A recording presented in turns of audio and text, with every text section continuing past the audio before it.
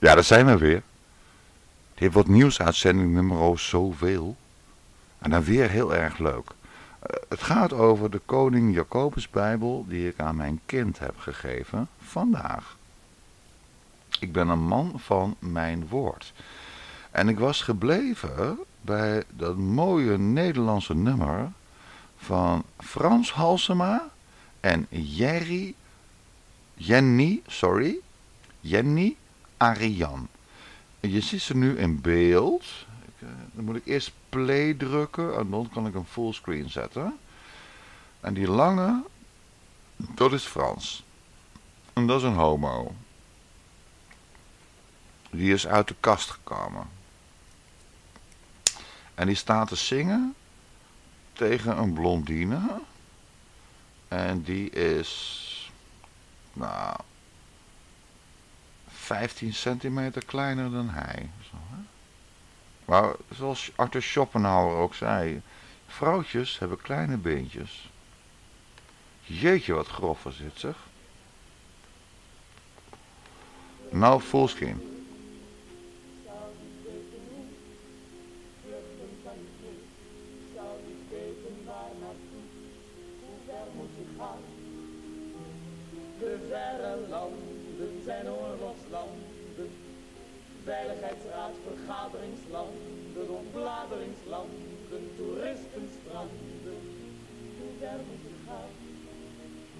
Vals is dit, hè? Ik laat een stilte vallen. Dit is vals, hè?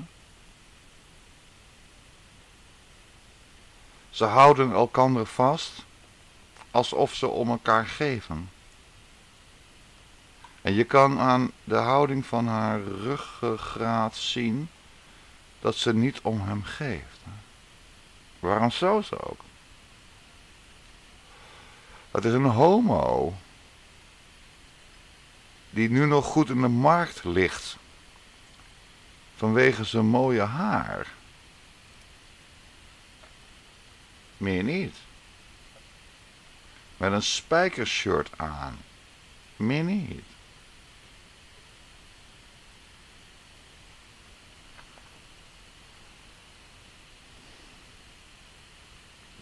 Totaal geregisseerd. We luisteren even verder naar die droevige tekst. Vluchten kan niet meer.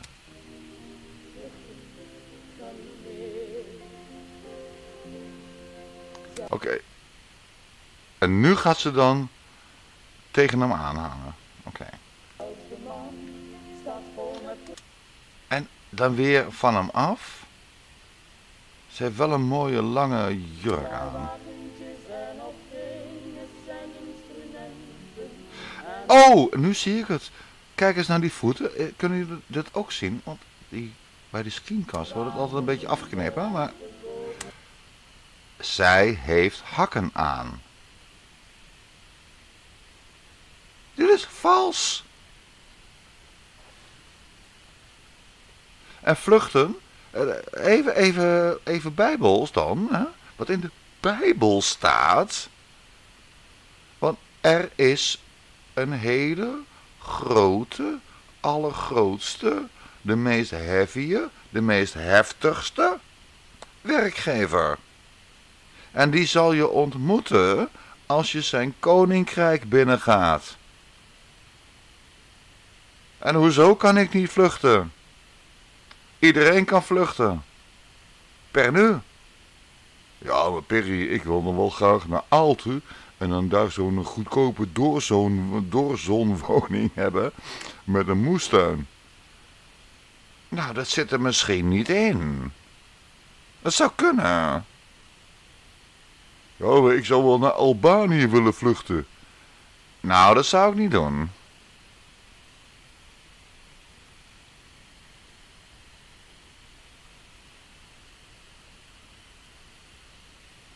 Ik ga naar de afsluiting toe.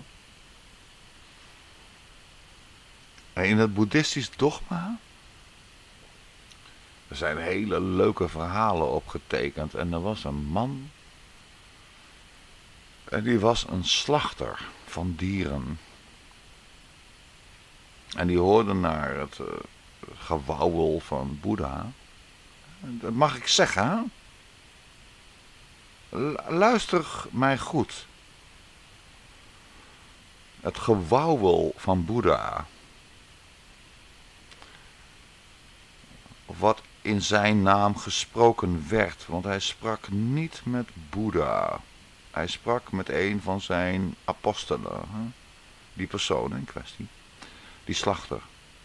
En die begreep het, die snapte het. En die zei tegen zijn leraar, ik begrijp het nu. En ik ben een slachter van dieren.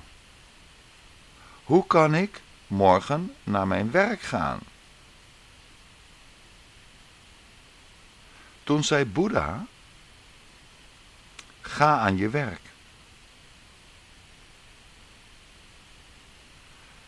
Dat is de, wat de Oosterse mensen ons echoden.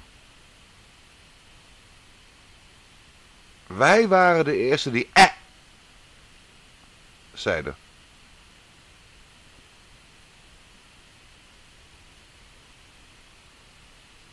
Wij waren de eerste met uh, dingen als, zeg maar. Ja, maar die Chinezen hadden ook buskruid.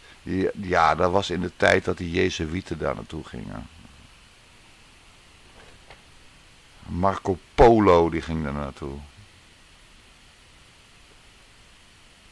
Maar ons.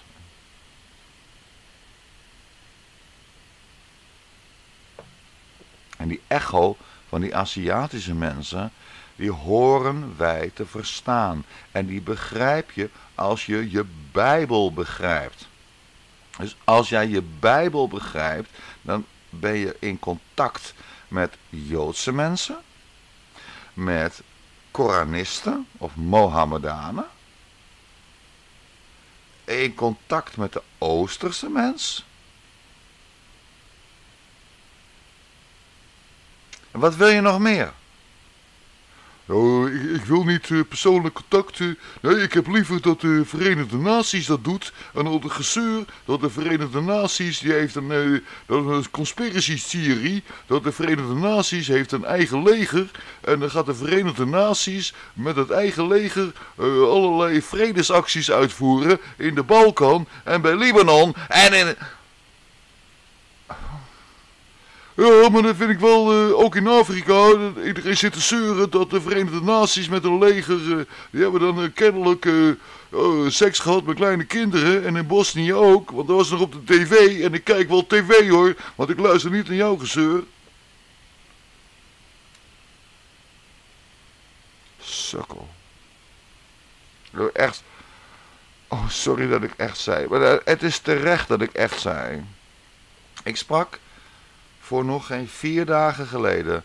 Een geweldig mooie, rechtopstaande, blonde vrouw. Met een bril.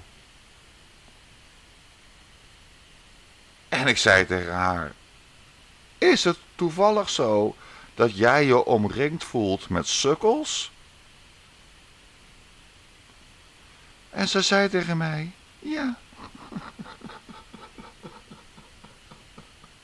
En al die stonden verschrikkelijk. Oh, jullie kerels, hè. Ik geef hem een bijbel aan mijn dochter. Ik had het eigenlijk ik had al die kerels. Ja.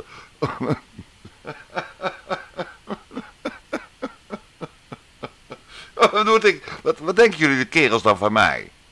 Hey, even, be honest, hè. Wees eerlijk. Ik zie zo'n meisje. In een dansstand. We staan in de rookruimte. Dus die babe, die smookt gewoon. Dus jij mag ook smoken. Ja. Uh, goede heupen, goede benen. En een heldere blik.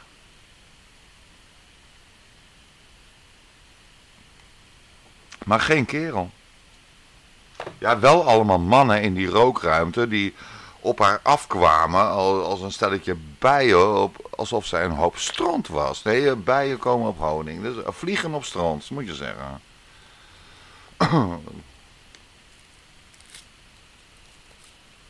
Pa!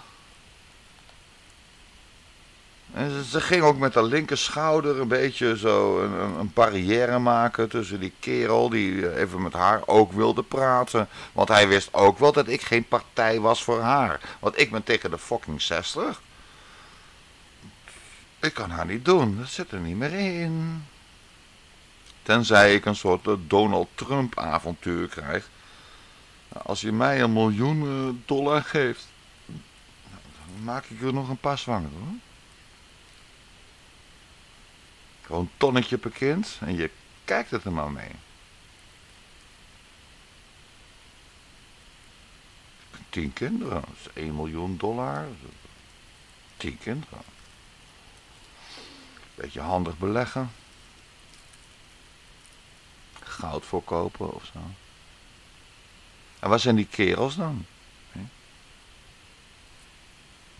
Ik zei ook tegen die vrouw dat ik gehoord heb dat er vrouwen zijn die zich achteraf beklaagd hebben van ik dacht ik krijg één kind. En toen bleek ze twee kinderen te hebben. Ja, dat is uh, behoorlijk kut.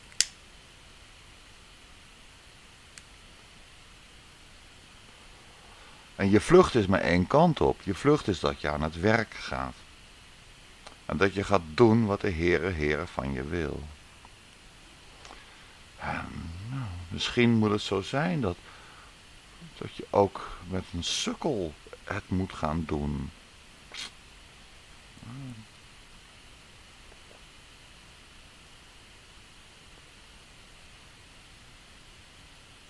Het zo, ja, het is niet nodig. Tegen jullie dames die dan helemaal, gewoon helemaal geen enkele kerel kunnen vinden. Jullie komen in de verkeerde tenten. Als je hier in Arnhem op zoek gaat, je vindt het zo. Alleen je moet omlaag. En al die mensen met zo'n upnose, zo'n zo'n zo'n neus in de... Oei, ik ben alles.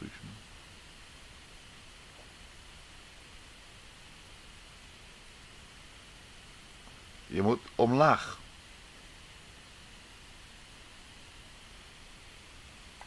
En het lef hebben. En je man moet ook weten dat, dat, dat je geen speelpopje bent.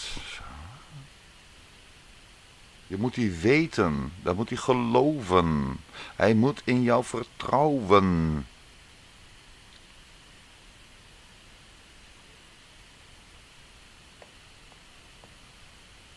Is een heel gedoe. En goed beseffen, het begon met Adam. En daarna kwam Eva. Het is zo en niet anders. En geen Maria-verering. A.U.B. Want dat is Babylonisch. Je moet niet vluchten, je moet aan het werk gaan. We gaan nog even naar luisteren. Ja?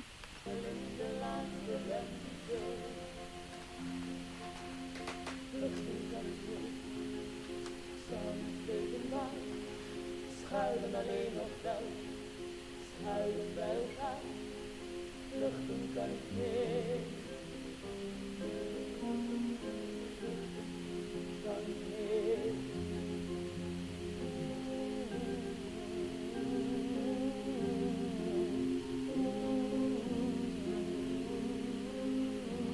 Gadverdamme, dat is echt lelijk, hè?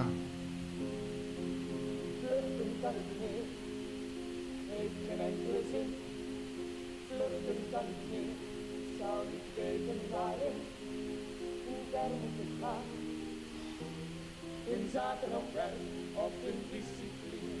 In ding of in yang, of in heroïne. In status en auto, en geld verdienen. Ik ga het echt kappen.